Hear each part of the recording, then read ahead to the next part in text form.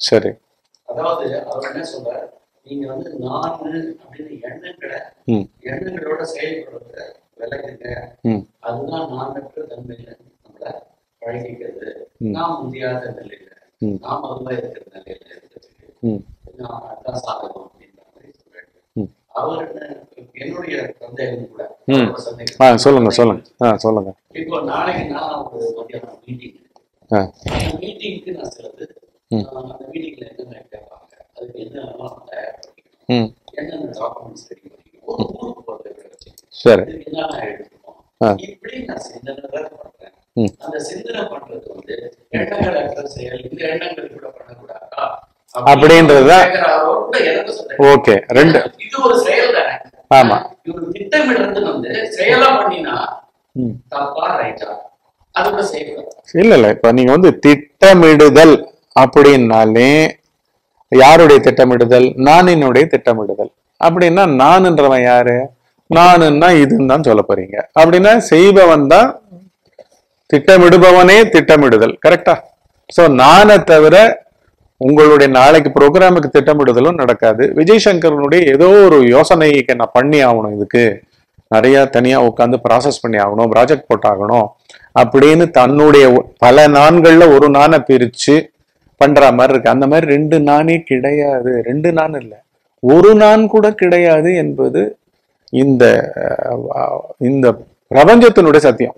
தனியா மனிதனுடைய சத்தியம் கூட கிடையாது. ஏன்னா அஞ்சறிவு உயிரினத்துல ஆட்டு மந்தைன்னு சொல்லுவோம். ஆட்டு மந்தை மாட்டு சந்தை அப்படின்லாம் சொல்லுவோம். என்ன அர்த்தம்? வாயில்லா பிராணிகள்னு ஒரேடியா பிராணி வர்க்கத்துல போட்டோம். ஏன்னா உள்ளுக்குள்ள தனியா நம்ம பேர் கொடுத்துருப்போம் நம்ம வீட்டு பசுக்கு லக்ஷ்மின்னு கொடுத்துருப்போமே தவிர பசு பசுக்கள் அவ்வளவுதான். பசு கூட்டம் மாட்டுக்கூட்டம் ஆட்டு மந்தை அத போல இருந்துகிட்டு இருக்கு. இங்கே வந்து மனிதன் வந்து தனியாக அவன் உடலை பற்றி கொண்டு அவனுக்கு பெயரிடப்பட்டு அந்த உயிரை அவன்தான் பாதுகாத்து கொள்ளணும் போல. ஏன்னா அவனுக்கு உயிரை பத்தி இலக்கணம் தெரியல. உயிர் எங்கேருந்து வருதுன்னு தெரியல. இன்னைக்கு மத்தியானம் கூட நம்ம இன்னொரு வீடியோ பார்த்தோம். அதுல கிளியரா உரிச்சு உரிச்சு சொல்றாங்கல்ல. ஆப்ஜெக்டிவா தனியா பயாலஜின்னு ஒண்ணுமே இல்லை. அதை நீங்க எவ்வளவும் வந்து நீங்க பண்ணீங்கன்னாலும் அந்த சூப்பர் கம்ப்யூட்டரா மாத்த முடியாது. அதை உணர்ச்சி ஊட்ட முடியாது. ஒரு மாடை நீங்க பேச வச்சிட முடியுமாங்க? மல்லு கட்டி நீங்க வாழ்க்கையே செலவழிங்களேன் அதோட உங்களோட அதுக்கு இருபத்தஞ்சு வயசு வாழ்க்கைன்னா இருபத்தஞ்சு வருஷமும் நீங்க செலவழிங்க என்ன பேச வச்சிட முடியும்? கிளியை கூட பேச வச்சிட முடியும். அதனுடைய சுபாவம் காட்டு போன வந்து தானே அது பயந்து கீக்கின்னு கத்தும். அதனுடைய சுபாவம் தானே அதுக்கு பேஸு இதெல்லாம் என்ன நடக்குதுன்னு கூட அதுக்கு தெரியாது. தன்னுடைய உணர்ச்சிகள் கூட தன்னை மாடாக வைத்திருக்கின்றது இன்னொன்றை ம- புலியாக வைத்திருக்கின்றதுன்னு அவையவைகளுக்கே தெரியாது.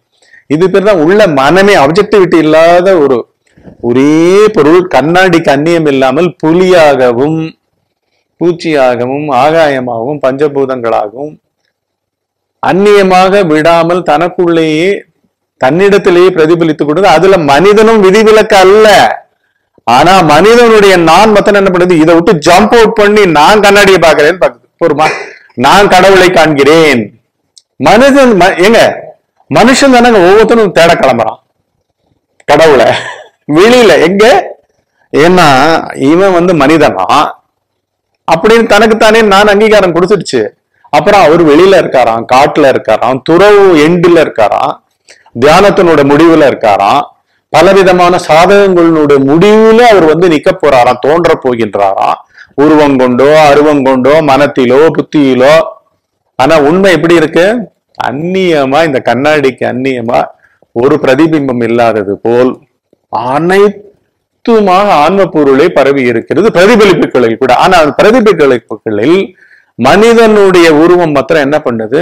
நோ நோ நோ நோ நான் வெளியில தான் கண்ணாடிக்கு வெளியில இருக்கேன். கடவுளுக்குள்ள நான் இல்லை. இந்த கண்ணாடி தான் ஆன்மா. இந்த ஆன்மாக்குள்ள நான் இல்லை. நான் ஆன்மாவை வெளியிலிருந்து அடைய போறேன்.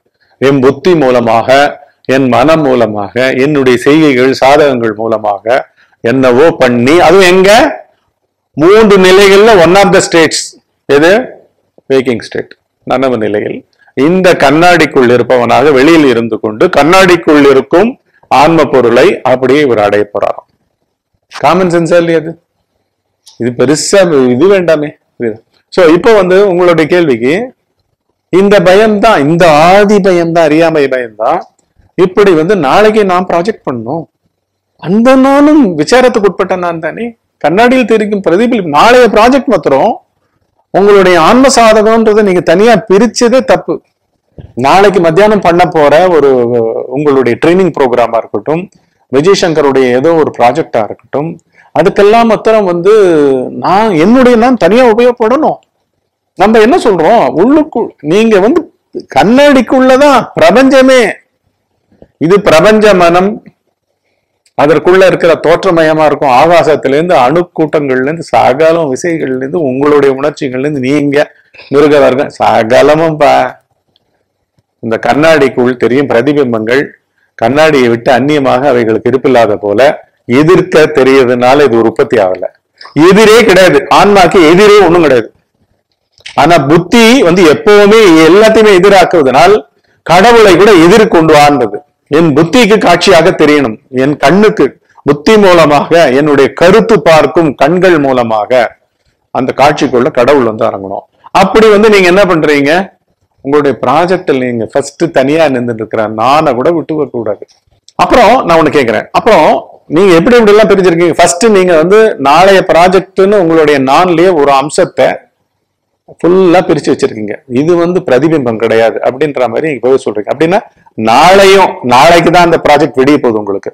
சோ நாளைக்கு எதிர்கொள்ள போகின்ற அந்த ரங்கத்துறையும் அந்த விஜய் சங்கரும் இந்த சாதகத்துக்குள்ளேயே இல்ல நான் ஆன்மாக்குள்ளேயே இல்ல.